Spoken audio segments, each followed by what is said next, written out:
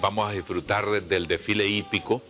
Eh, y una cosa importante, debemos disfrutar y cuando conocemos más de cómo se prepara el montador, cómo se prepara el caballo, cómo inclusive debería ser, eh, cómo podemos disfrutar para, para, para, no afectar esta demostración, de, que digo yo que si, si, estamos conscientes lo vamos a disfrutar mucho más. Estamos está con nosotros Pepe Matus, eh, de Rancho de Pepe Matus que son una familia de mucha tradición también en, la crianza y en los desfiles hípicos eh, en los que participan.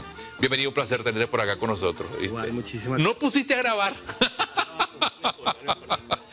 eh, contame, eh, ¿hace cuántos años? Tu papá me imagino que inició esta tradición, ¿verdad? Sí, a mi papá ya lleva 45 años en esto. Yo, llevo, yo voy a cumplir 40 ahorita, 40 años, y ya llevo 35 eh, años, eh, desde los 5 años ando montando. Sí. ¿Es de pasión? Sí, esto es alegrísimo. Ir en una hípica, vos no te imaginas la alegría, la gente, el folclore nicaragüense, todo es bien bonito. Es una, es una sensación muy bonita. Fíjate que hoy estaba hablando en la mañana, Pepe, de algo muy importante, porque yo decía que montar un caballo, pues no es que ahí está el caballo y hoy se me ocurre ir a montarlo. Hay una relación, no sé si es el término correcto, entre el montador y el caballo que a lo mejor dura meses o años. Claro, no, yo incluso puse un comentario en las redes sociales que fue un poco viral porque yo le digo, esto no es de irse solo a montar, hay que prepararse, tomar clases, porque a esto le está gustando mucho últimamente a la gente.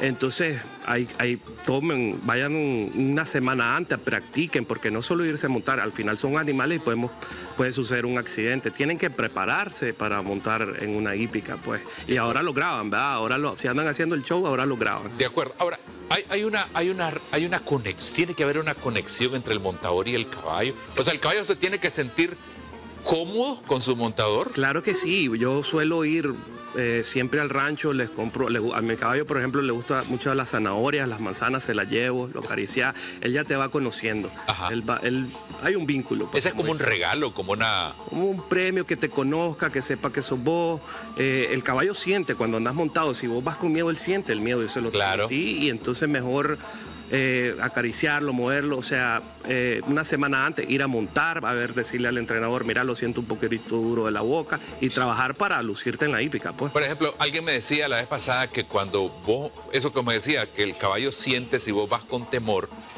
y, entonces su respuesta va a ser esa, pues, si presionas mucho las piernas, por ejemplo, si llevas las piernas relajadas, el caballo siente toda esa, esa, esa que al final es un, eh, un, lenguaje de comunicación, pues. Claro, lo siente. Si vos vas con temor, el caballo siente y pues por eso pueden suceder los accidentes. Pues mejor, ah, como te digo, un vínculo con tu, con tu caballo y vos ya vas tranquilo, vas seguro de así, pasás alegre pues en esta fiesta de acuerdo. Nicaragua. Ahora, cuando hablamos del desfile de hoy, Managua tiene una particularidad, el recorrido es largo, yo creo que son más de 10, 15 kilómetros. Eh, sí, es uno de los desfiles más largos de Centroamérica, ¿verdad?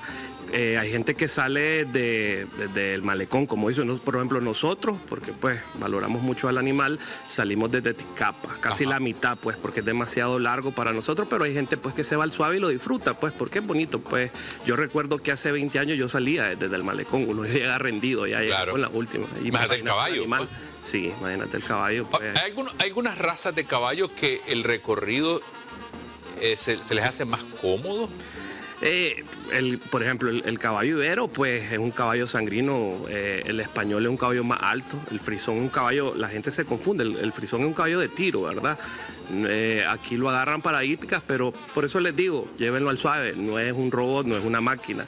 El caballo pues al suave y, él te lo aguanta pues con tranquilidad y gozando, usando la hípica. Pues. Y, la, otra cosa es que te, uno como espectador, cuando es un caballo que va muy cansado, muy sudado, la, impresión que le da es que es un caballo que puede estar maltratado, pues tal vez no es así, pero esa es la sensación que te deja. No, yo cuando pues a mis amigos pues que tal vez son caballos muy ganosos, yo les digo bájense, eh, se bajan un ratito, lo, se ponen ahí, lo, lo, descansan y después se vuelven a montar, porque hay caballos que son muy sangrinos. Pues, por eso si te montas es acción. Es acción. Esos caballos que tenés que estarlos relajando, tranquilos, ellos se bajan un poco, los tranquilizan y se vuelven a montar. Pues. Pepe, ¿cómo aparecen ustedes en redes? Imagino que eh, vos me decías que compartís eh, algunas recomendaciones, pero imagino un poco de tu del trabajo que realizas cotidianamente. En todas las redes sociales salimos como Pepe Matus, Pepe Matus o Rancho Pepe Matus. Sí, en TikTok, en todas las redes, en TikTok, pues no es que yo me volví viral, fueron los caballos pues,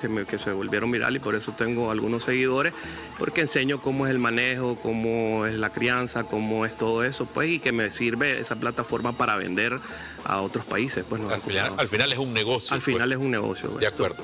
Ahora, la otra cosa, cuando hablamos de a nivel emocional, esa es una pregunta que yo nunca he montado. Sé montar, pero no, no, no con técnicas. Te invito un día al rancho para que montes. Excelente.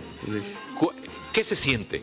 Es una adrenalina increíble. No te imaginas la idea, ir en una chichera con 100 mil personas, por ejemplo, una hípica estelí de Managua, 100 mil personas en las calles, 10 mil montados, una chichera al lado, que tiren un cohete, que el caballo se te, cuando son buenos caballos se te encienda, la gente te comienza a pedir fotos, a aplaudir.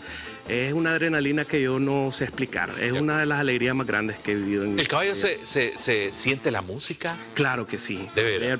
Yo tengo caballos que cuando voy en la chichera se ponen más alegres, se ponen a bailar solo, a piefiar como le dicen. Es, claro que sienten toda la sensación cuando alguien los acaricia y todo en la hípica, cuando le dan amor y todo eso. Qué bien.